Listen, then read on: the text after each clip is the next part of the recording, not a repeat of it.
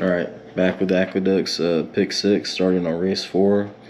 Uh, got about 10 minutes to post time, so hopefully it'll upload in time.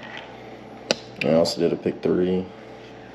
And starting race five, hopefully at least you'll be able to get that if you decide to uh, copy or fade.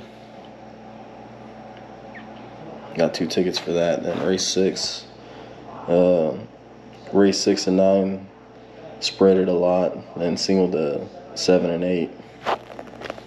And then five, more of a single, I guess. But those are my plays for today, so it's up to you. Follow or fade. Good luck though. Wager responsibly. Wager at your own risk. Hit last week's pick six, so looking to repeat today. Good luck.